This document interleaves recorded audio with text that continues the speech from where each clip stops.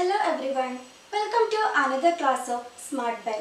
In the last class, we started learning about the average. So now we have learned how to calculate average. Okay, let us see what the questions are today.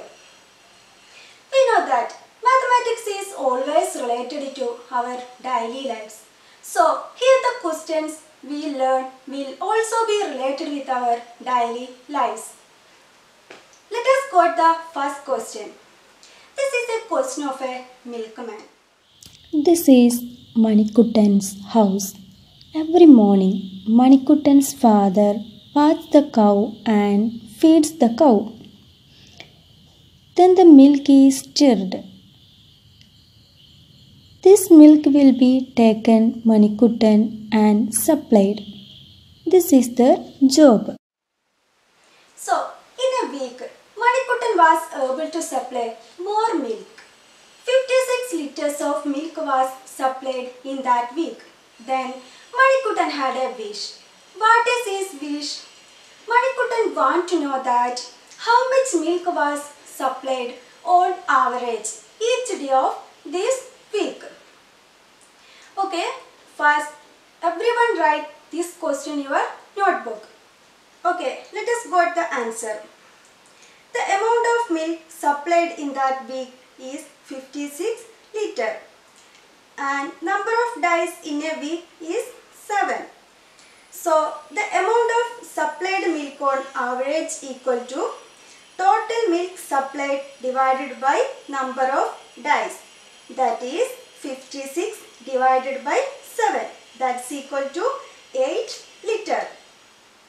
Here, one thing to remember. On some days, more than 8 liters of milk was supplied or on other days, less than 8 liters of milk was supplied. And also on some days, Manikuttan given only 8 liters of milk. Here, one more thing to do.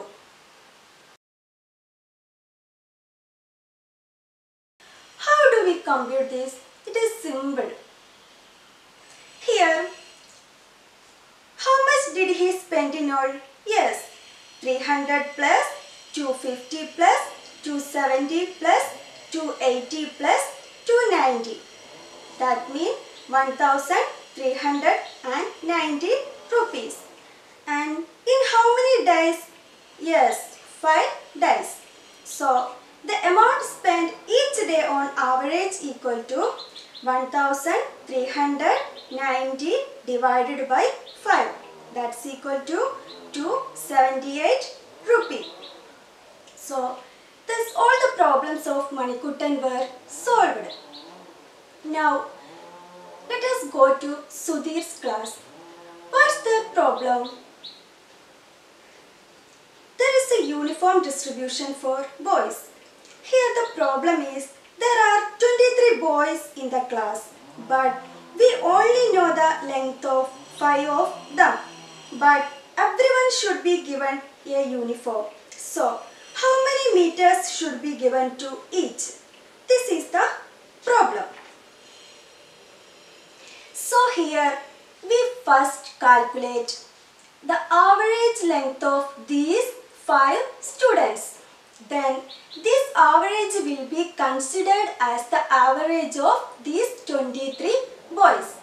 That means average length of 5 students equal to 110 plus 130 plus 120 plus 140 plus 100. That's equal to 600 then 600 divided by 5 that's equal to 120 centimeter. That means one student need 120 centimeter cloth. So cloth required for two children is 2 into 120 that's equal to 240 centimeter. That means the cloth required for 23 children is 23 into 120 that's equal to 2760 centimeter.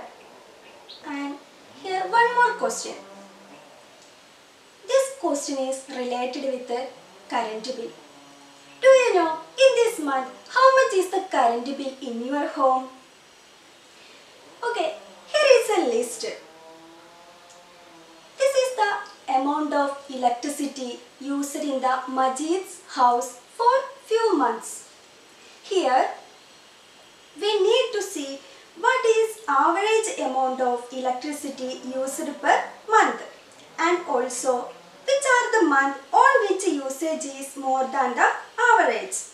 So here average amount of electricity per month equal to 85 plus 90 plus 75 plus 82 plus 78 divided by 5 that's equal to 410 divided by 5 that's equal to 80 82 units.